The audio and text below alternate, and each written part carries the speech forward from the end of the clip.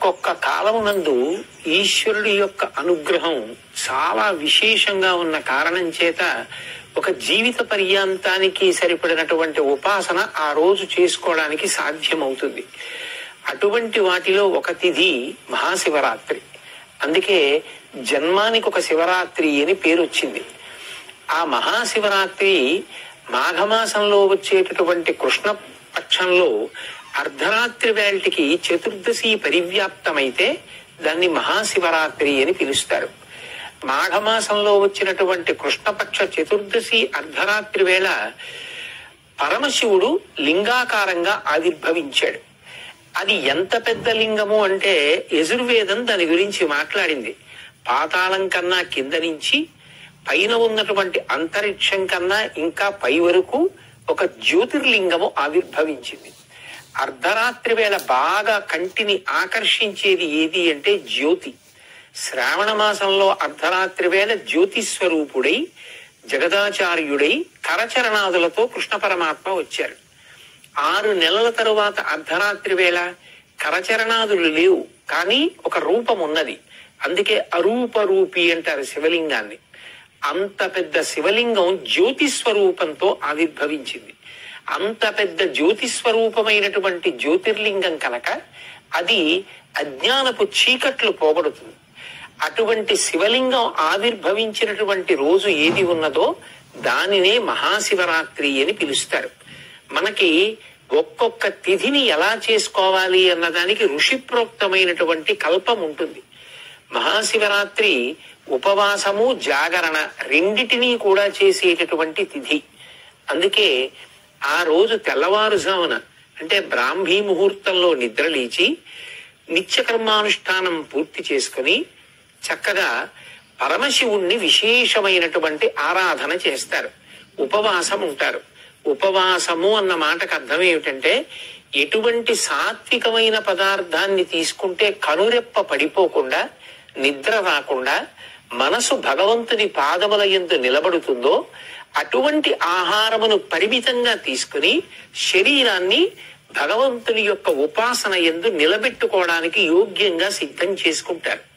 కంటికి కడుపుకి దగ్గర సంబంధం. కడుపు నిండా తినేసామనుకోండి కనురెప్ప పడిపోతుంది.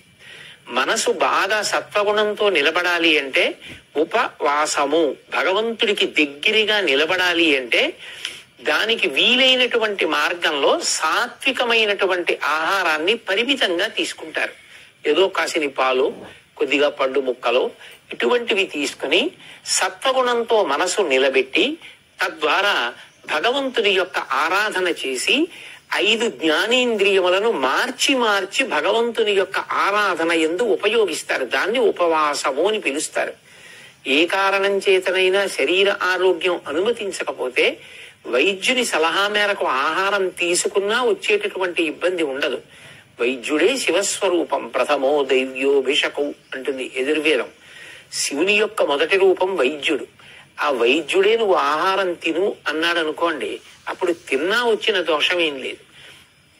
తినకుండా ఉండగలిగితే సాత్విక ఆహారం తీసుకుని శరీరం నిలబడడానికి కావలసినంత పుచ్చుకోవచ్చు. దీనితో పాటుగా జాగరణ అనేటటువంటిది మిగిలినటువంటి ఏ తిథి నాడు కనపడనిది ఒక్క మహాశివరాత్రి నాడే కనపడుతుంది. జాగరణ అన్న మాటకు అర్థం ఏమిటంటే మెలకువగా ఉండుట. సాధారణంగా మనందరం మెలకువగా ఏ తిథి ఎప్పుడు ఉంటాం పగటి వేళ మెలకువగా ఉంటాం. రాత్రి వేళ నిద్రపోవడం విధింపబడింది. నిద్రపోవాలి. తప్ప నిద్రపోకుండా తెలివిగా ఉండకూడదు. కానీ ఒక్క మహాశివరాత్రి నాడు మాత్రం జాగరణ చేస్తారు. జాగరణ అంటే కేవలం తెలివిగా ఉండడం కేవలం నిద్రపోకుండా ఉండడం అని కాదు దాని అర్థం. జాగరణ చేస్తున్నాడు అన్న మాటకు అర్థం ఏమిటంటే ఆ రోజున మెలకువగా ఉన్నాడు. అంటే తనని తాను పరిశీలిస్తున్నాడు జాగ్రత్త పడుతున్నాడు. ఎందుకు మెలకువగా ఉన్నాడు? అంటే ఏదైనా తనని పట్టుకోకూడనిది వచ్చి పట్టుకుంటుందేమో అని జాగ్రత్త పడుతున్నాడు. ఎక్కడి నుంచి వచ్చి పట్టుకుంటుంది? ఏదో బయట నుంచి వచ్చి పట్టుకునేది కాదు. కొన్ని కోట్ల జన్మల నుంచి మళ్ళీ పుట్టి మళ్ళీ చచ్చి మళ్ళీ పుట్టి మళ్ళీ చచ్చి జరణ మరణ చక్రమనందు తిరగడానికి కారణం అరిషడ్వర్గములకు వశం కావడం. కామ క్రోధశ్చ లోభశ్చ దీహే తిష్టంతి తస్కరాహ జ్ఞానరత్నాపహారాయ తస్మాత్ జాగ్రత్త జాగ్రత్త అంటారు. ఎప్పుడూ జాగ్రత్తగా ఉండు.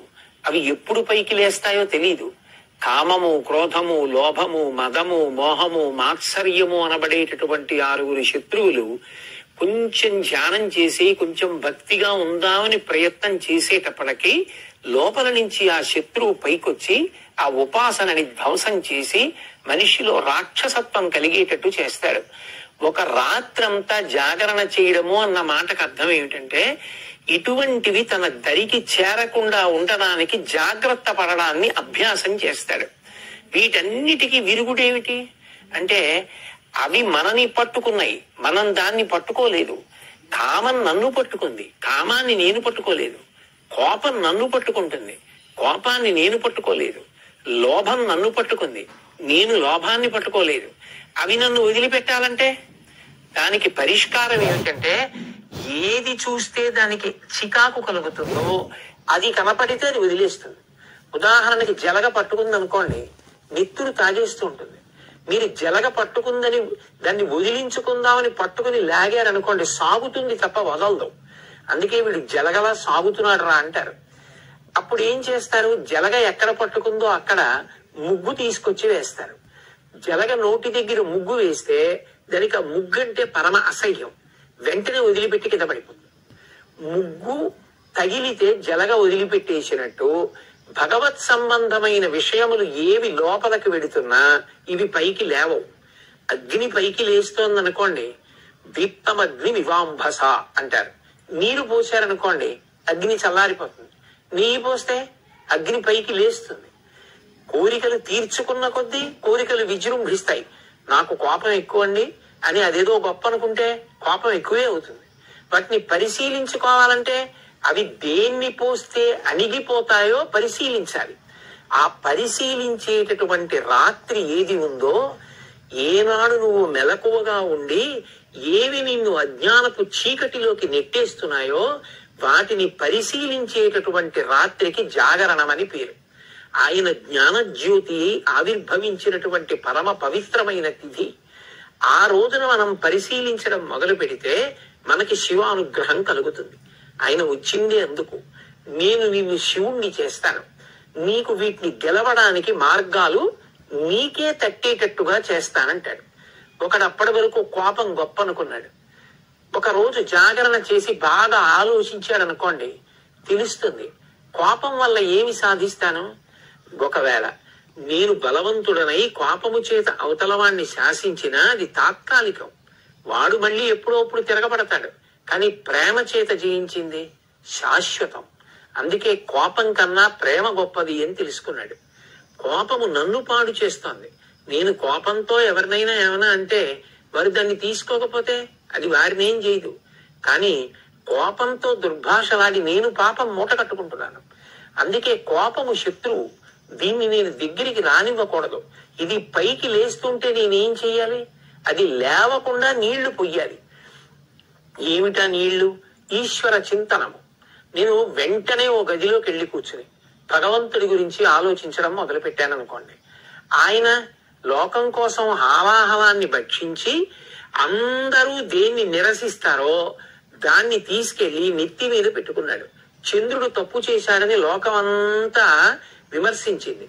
ఆ చంద్రుడిని తెచ్చి నెత్తి మీద పెట్టుకున్నాడు. హావాహలం బయటికెడితే పాడు చేస్తుందని కంఠంలో పెట్టుకున్నాడు. మనం కూడా భగవంతుణ్ణి చూసి మంచిని నేర్చుకోవాలి. ఓ నేను కూడా శివుళ్ళ బతకాలి. ఏది లోకాన్ని పాడు చేస్తుందో అది మాట్లాడకూడదు. కంఠంలో దాచుకోవాలి.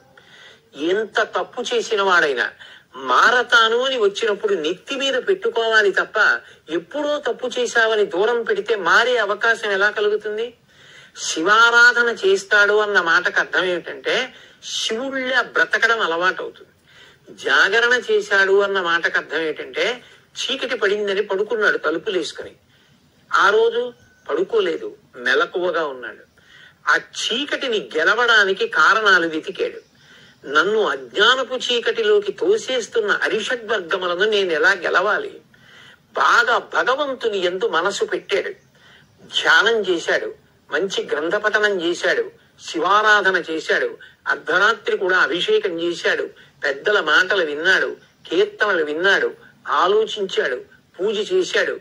మనసుని మార్చి మార్చి ఇంద్రియములతో కలిపి భగవంతుని యొక్క పాదముల దగ్గర పెట్టగా పెట్టగా అరిషడ్వర్గములను గెలవడానికి కావలసినటువంటి మార్గములు ఇక్కడే ప్రచోదనమవుతాయి. ఇప్పుడు ఆ అరిషడ్వర్గములను గెలవడం చేతనైంది. ఆయన ఎవరవుతాడు? పశువు పశుపతి అయిపోయాడు. ఎందుకని?